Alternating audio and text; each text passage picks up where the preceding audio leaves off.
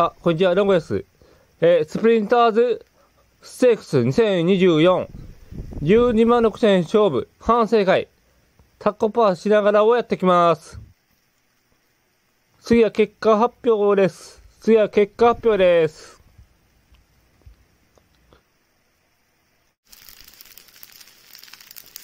これタコは取れました。タコは取れました。タコは取れます。食べていきます。構美味しいですね。ちょっと焦げてしまいました。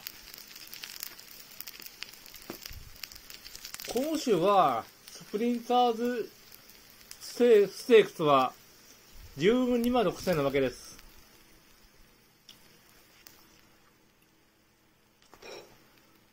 今年は結構難しいですね。競馬。うーん。今年は難解ですね。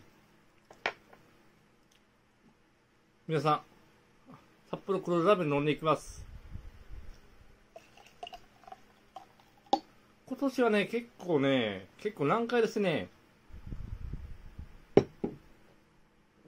今回、えー、っとね、3連単を買ったんですけど、3から6、3から6で動画を見てもらったらわかるんですけど、動画見てもらったらわかるんですけど、えー、香港マンから流せました。結構外れ、外れましたね。ここは12万6000なわけです。で、ちょっと火を止めますね。火を止めます。火事だったらダメなんで。まあ、そうですね。結構、今年はね、結構、今年は結構難解ですね。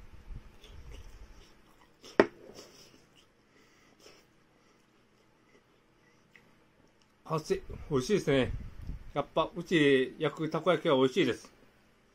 これ、業務スーパーのたこ焼きです。業務スーパーのたこ焼きです。あの、うちでタコパーします。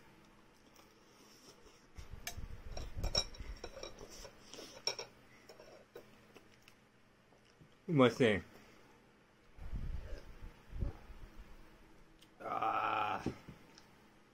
年は難しいですね。僕、今回でも、スプリンターズステークスの反省、反省ではないないんですけど、13、えー、悪事発表前から消してました。結局外れてましたね。あと、最後な、最後の方になるんですけど、え、今年あと9万6千円勝負、あと 2, 2つしてます。有馬記念とあと1レースかけます。そうですね、えー、毎年外製猛暑を買ってるんですけど、今年は買わないです。なんでかというと、今回一応ワイド買い足しで3万してしまったんで、ワイドは買えないですね。えっと、勝負レースはあと1つ考え中です。有馬記念と、有馬記念とどれか。候補は、えー、菊花賞、中華賞、ジャパンカップ、天皇賞明です。結構難しいですね、今年は。まあ、月の9番の苦戦勝負、あの、あと2つやるんで、どっちか当てたいんで、吟味していこうと思ってます。そうですね。